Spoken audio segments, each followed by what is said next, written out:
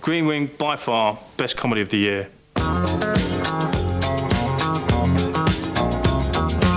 There's not a moment in that programme that isn't funny.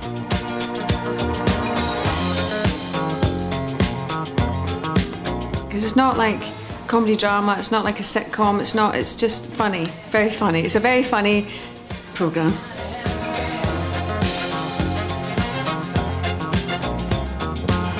you, you just can't really take it in because it is it is like a comedy sketch show, but there is a, a plot running through it and a storyline.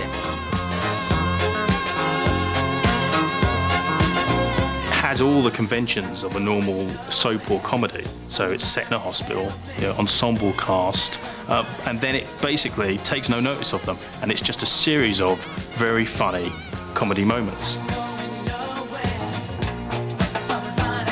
Green Wing has lots of surreal moments. People ride camels through corridors. There are remote control cars chasing the doctors around. No one really knows why, but it doesn't matter. There aren't any surreal moments in it. I mean, even even if you think about um, Sue with the long arms, I could just have popped them on in the morning. You see, I always thought of God as more of a, a huge, shapeless entity.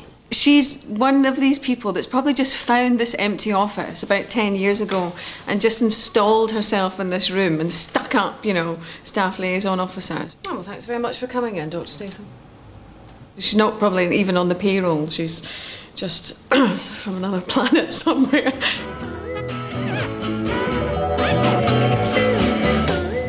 It's giving you a format which you are not used to. So initially, I think you can be slightly distanced from it and alienated, but at the same time, you know there's some kind of hook that's in your flesh dragging you towards it. Not, don't worry, I'm not, I'm not looking at your uh, leotards. And, and, and, even if I was, I'm a, a, a rape. I think Green Wing was totally childish, and I think that's why people enjoyed it so much. They didn't want clever, clever comedy, they just wanted to be entertained. It's over, Alan. Never contact me.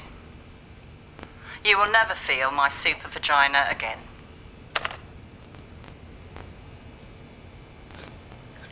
I wish people would leave a name.